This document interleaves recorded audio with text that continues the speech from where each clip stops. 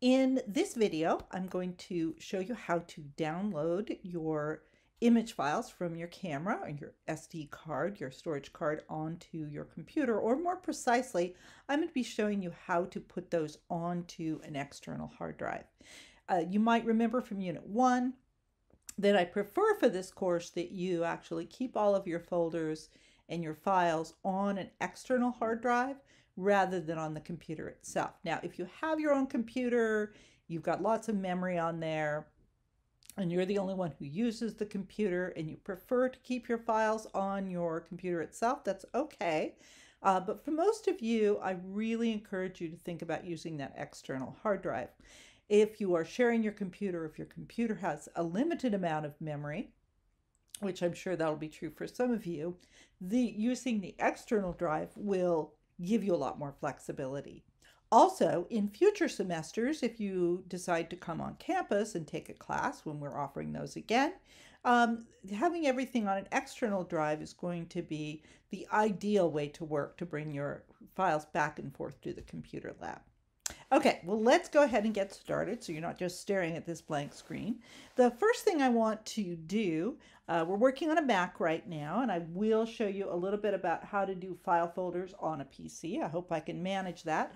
I'm much more comfortable on a Mac, uh, but let's go ahead and get started. The first thing I want to do is I'm going to plug in my external hard drive.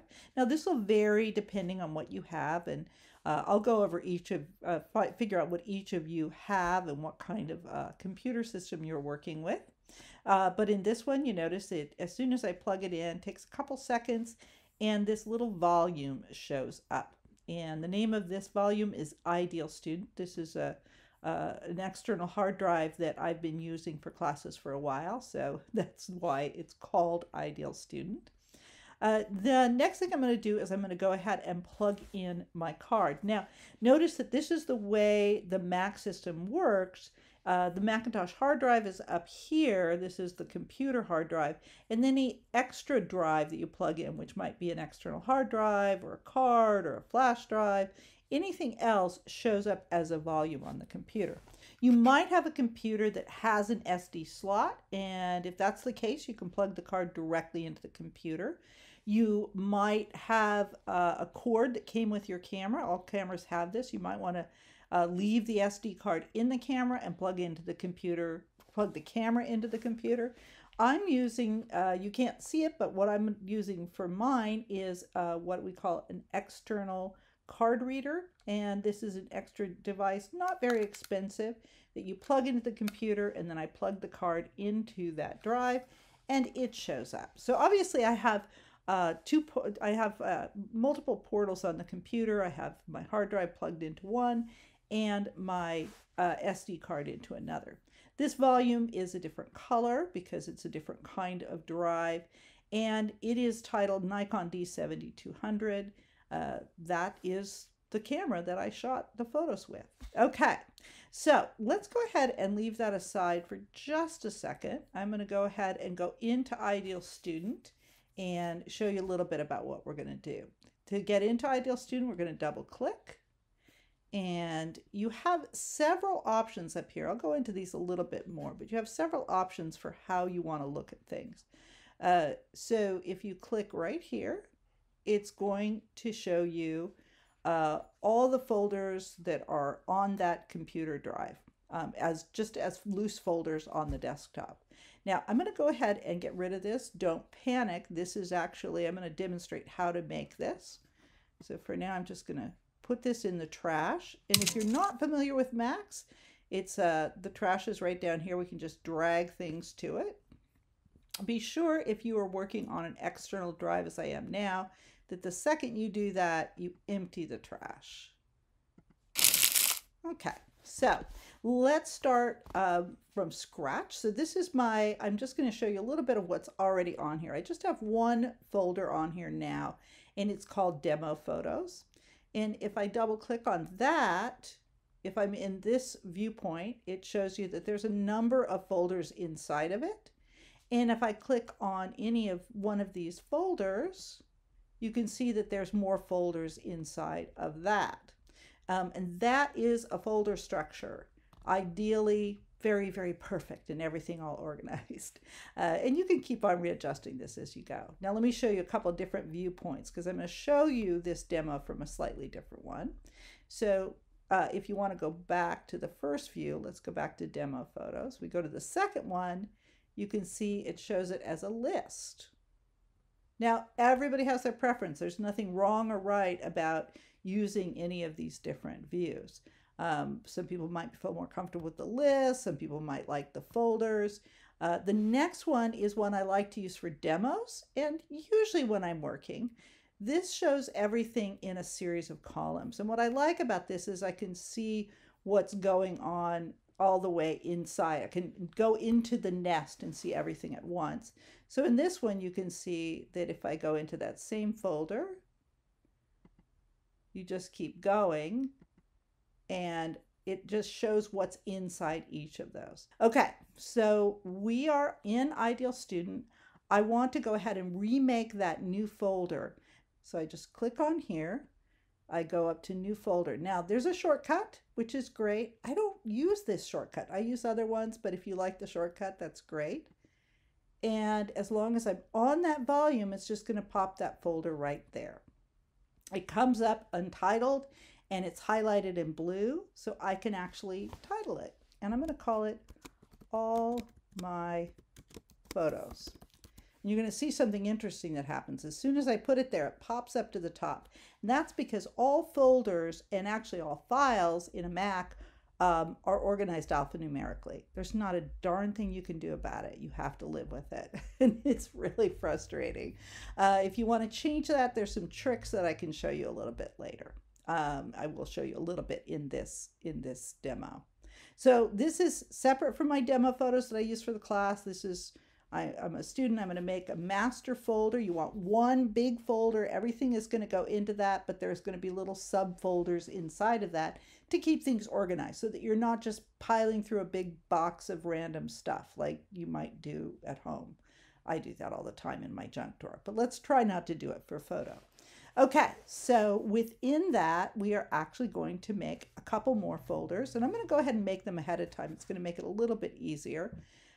I'm going to make two folders inside of this, and one is going to be called Photo 29 because that's where all of my photos for this class are going to go. And I'm going to click back here. Now, this it's not terrible. If I stay here and I do another folder, you notice it goes inside that. It's not a terrible thing because you can just pull it back. But you want to click back into whatever master folder you want to be in, ideally. And if I want to now rename it, I just click and hold. It turns into that blue again. And I'm going to call this, hmm, I'm going to call this everything else.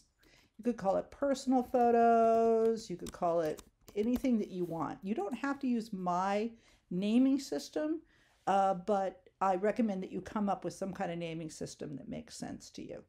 Now, again, everything else popped up to the top. I don't really want it up on the top. So I'm going to show you this little trick. All I have to do is go into this name and I'm going to call this 2 and I'm going to call this 1. You can also do this uh, with letters. You could call it A and B and that actually puts them in the order I want. Now in photo 29, I'm going to go ahead. I, eventually, I want to put a number of folders in here. But to start, I'm going to go ahead and create a folder.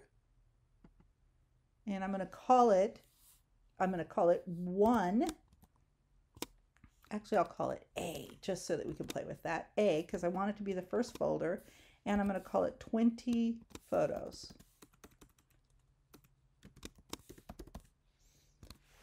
And that is our first assignment. So you could use a 1, but I'm going to use an A. And that is where we are going to put the photos from the card today. I'll go ahead and make one, uh, two more files. We don't put, we're not going to put anything in them yet, but just so you can see how this looks. This one I'm going to call B, and it's going to be called Three Ways. That is your next assignment. And then I'm going to go back, and I'll make one more. And this is going to be called C and it is, uh, what is it? Abstraction is your third assignment. Cool. So you can see how we nest those in. In order to put the files from this card in here, I'm just going to click on 20 file photos and let's go into this volume. We can have both of these open at once. I can minimize this window a little bit. Come on, there we go. You just grab it and we'll minimize it a little bit so we have room for the other. Depending on your screen size, you need may need to minimize or maximize them a little bit differently. So when you go into D7200, uh, these cameras have their own organizational system. You'll often see a folder that says DCIM or different letters depending on the camera you're in. I click into that and I have to click again and there are my files finally.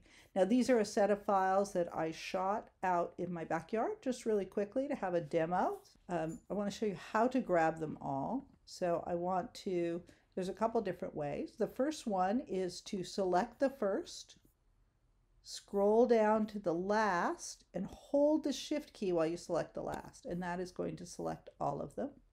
Uh, there's another way though so the second way to do this is to grab the first one and use a shortcut, which is Command A, and that also selects all of them. Okay, um, to deselect them, you can just click anywhere outside of those images. Um, but for now, we'll, we'll go ahead and reselect those again. So Command A, and all of them are selected. You can click and hold anywhere along here and let's make sure we're in 20 photos because this can get tricky. And just drag them over. You can drop them onto the name or into this area. See how that lights up? Make sure it lights up or just into that blank space. And it's going to copy them over. Now notice it is copying them. It's telling you the progress right here.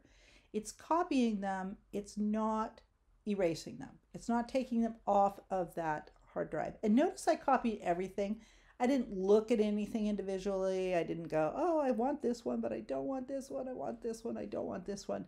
It's one of the biggest mistakes beginners make is that they try to cherry pick from the little thumbnails. Now, there's a lot of problems with that. I don't want to go into it yet, but for now, I want to tell you, I just want you, no matter what, just grab everything and bring it over. If there's stuff you hate, you can throw it away from there. Also, don't erase your card yet. Make sure that you have everything copied in ideally two places, but at least solidly copied in one place. Now, once you've copied those over, we actually don't need to have this here anymore. When you are uh, when you're done with a volume on your on your Mac, you need to make sure you eject it so that it uh, doesn't damage the volume as you as you pull it out. So you don't want to just yank it out. You can do that here. You can just hit this, oops, go to the right one. You can just go to the volume. This is Nikon D7200. You can eject it there. Or on a Mac, there's a really fun way to do it. This is a very specific Mac thing. I can just grab and drag this icon and drag it down to the trash. And notice all of a sudden the trash becomes an eject button. This always freaks people out on Macs. And it ejects that drive. It also takes the window down because we were in that drive's window. That's okay. We can go back to Ideal Student. And if you look in all my photos, in photo 29 and 20 photos, everything is in there. Now, I put everything in here, but everything doesn't actually belong in here. Uh, so you can actually see the thumbnails here. These are just things that I shot in my backyard. Right down here, think it starts, there it is. Right down here, I took a bunch of pictures of my cat, and I'm not going to submit those. Those are my personal pictures of my cat, and I'll just click up, and if I just want to take the one out, click on it and drag it over and just drop it into everything else. See how that lights up? And just drop it in there. Um, but there's actually more that I want to move over. I think there's this one. Nope. A little farther. There she is. And there's more of her. I want to take all of those out. Some of them I might throw away, but I'm not going to do it yet. And I'm just going to select all of those. And that was just by holding the shift key. And I can drag those over and drop those into everything else. But let's go back to 20 photos because I can do yet another subfolder in here. In the next unit, you're going to submit your five favorite photos from these 20 photos, these at least 20 photos that you shot. I shot more because I'm an overachiever. Uh, so I'm going to add another folder into this folder. Make sure you're clicked on that. And it's down here, and I'm going to call it Five Favorites. I'm going to go ahead and leave it on the bottom for now. It doesn't matter if it's at the top of the bottom unless it really bugs you. Um, I'm going to go ahead and leave it there. And I can go backwards and I can just grab and drag as I find them. I'm just going to click through. Oh, there's another one of those. Okay, while I'm at it, I'm going to put it right there. I knew there were more cat photos. So anytime you find something you need to move, you can just drag it out. And I'm just going to click through until I find a few that I like. Oh, I kind of like that one. Remember, this is completely up to you. I want ones that are relatively well exposed. So these are a little bit dark. I'm not going to choose those, even though they're kind of nice. And I'm just going to grab, oh, I like that one. And I'll click through until I get five that I really like. There was one more that I really like this one and one of the moon because that was kind of cool to be able to take the moon. I think that's five. So from there, you have your five favorites, and this will allow you to go into Canvas and upload your photos from there. We'll go over that in a different video.